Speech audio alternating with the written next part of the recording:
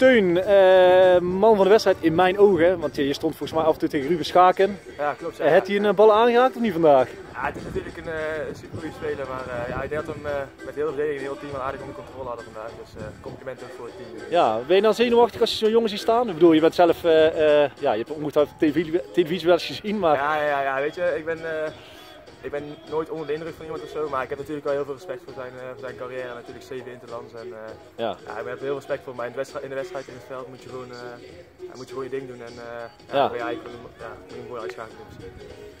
ben je dan tevreden met 2-0 overwinning of had je zoiets van het had ook 7-8-0 kunnen zijn als je eerlijk bent? Ja, ja 2-0 op zich ben ik al tevreden met drie punten. Ja. Maar ik denk zelf ja, dat het wel 6, 7, 8-0 had kunnen zijn. Dat je de kans een beetje afmaakt. En, het spel af en toe twijfelachtig. Dus, uh, ja, twee goals afgekeurd. Ja, ja, ja, ja, maar ik denk als team zijnde, het is goed in ieder geval dat we veel kansen creëren en uh, zo moeten we door voortbeduren in ieder geval. Ja, en even over jullie taak achterin. Uh, je krijgt altijd kansen voorin met zoveel snelheid, maar je geeft vandaag helemaal niks weg. Nee, nee. Ja, laatste week hadden we wel wat tegengoals. We hebben af en toe wel wat tegengoals gehad en ook snel achter elkaar.